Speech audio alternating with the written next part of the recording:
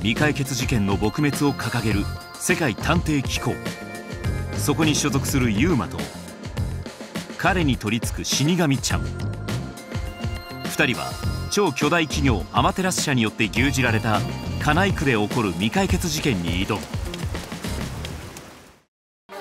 調査を共にするのは世界探偵機構に所属する超探偵たち。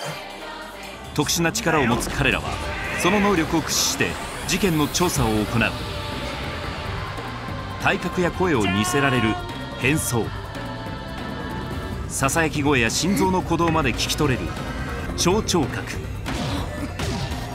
過去の事件現場を見ることができる過去心など探偵によってその力は様々。これが過去史なんですね。ユーマは彼らの能力を共有して調査を進めていく。これは証拠を集めていくと謎迷宮が出現。